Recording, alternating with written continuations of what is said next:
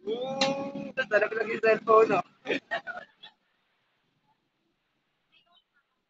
Pawalaan sila eh.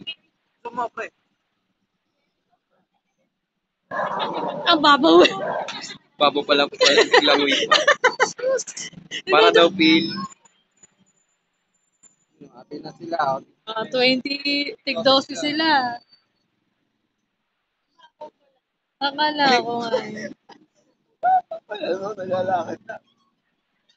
Ako niyang pagrarugby ko na yan. Grabe. Ayaw nila ako. Hindi, ako kuhain nila yan.